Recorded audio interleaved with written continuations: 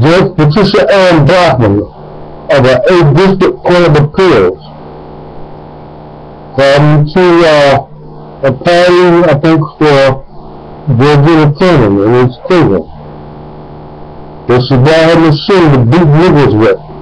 Her Detective Mark Cross.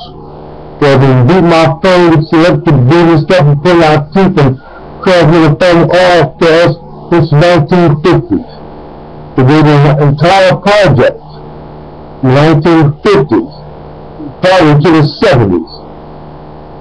You know, when the, when the residents knew how to carve a project, we need this way, and somebody on sinkhole, somebody needs people, no phone around, by telephone calls.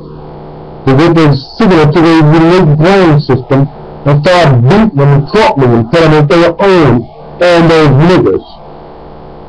Along with J.L. Wright, the deputy sheriff Flynn Ralston and Sheriff Cleveland Juvenile Justice Blah. They tapped into my little nephew nieces a couple of years ago to shake their bodies to see if they were connected for they could use them later on, like they did Leonard Adams, Marcel, like they did Herbert Drake, how they did Otis Hope, Artie Whitener, Jesse Clem, Anthony Sowell, David Phillips, all the people that made bad enough to take somebody's life, because there wasn't no baby system downtown. The judges are paid to the system to let them murder and write fabulous stuff and get away with it. But you can't get away with it because you gotta stop ignoring stuff that still exists.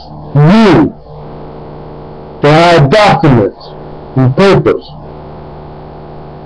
that were attached to a case of what they've been talking to niggas heads since the 50s. They were general manager Tim Hawkins. That they years ago they were going to kill any of those kids or kill Eddie years ago. They got an alien kid boys who took their lives. They don't let nobody out the power of being like being professional and being nobody.